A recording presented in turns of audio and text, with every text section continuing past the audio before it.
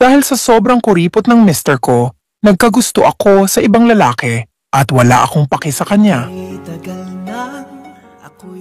Po ay 39 years old at ang asawa ko ay 76 years old. May apat kaming anak, 18, 16, 14 at 8 years old. Tawagin mo na lang ako Hazel at ang asawa ko naman ay Dabor. Wala naman siyang bisyo kundi puro business lang ang pinakakabalaahan niya pero mula nang nag-asawa kami, hindi siya nagbibigay ng pera sa akin. Sa madaling salita, kuripot siya. Madalas kaming mag-away tungkol sa pera. Kung nahihirapan sa kanya pero tiniis ko dahil sa mga anak ko na lahat sila nag-aaral.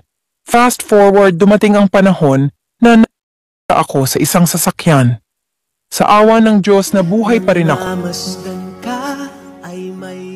Hindi siya nagbigay ng financial support sa akin.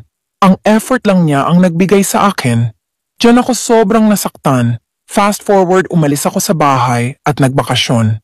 Diyan ko nakilala si Imos, isang driver na may asawa at isang adopted na anak. Ilang buwan lang panliligaw naging kami. Imos, ang problema lang ay di ko kaya iwan ang trabaho ko bilang public servant. Ikaw ang sagot sa mga At nagsumbong siya sa aking boss, kaya nasira ako sa mga tao. nang mamasdan ka. Ko alam kung ano ang gagawin ko. Mahal ko si Imos at wala na akong pakialam sa asawa ko dahil nag-usap na kami na maghihiwalay na ako. Kay tagal na Ko nang kalimutan si Imos pero di ko siya kayang bitawan. Sa kanya ko lang naranasan na maging masaya.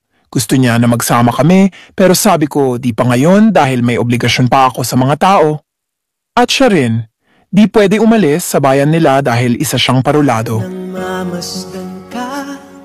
Buwan na kaming di nagkikita. Nagte-text siya pero hindi ko na siya nire-replyan dahil ayoko nang makasuhan ng kanyang asawa. Kayang mawala si Imos sa buhay ko.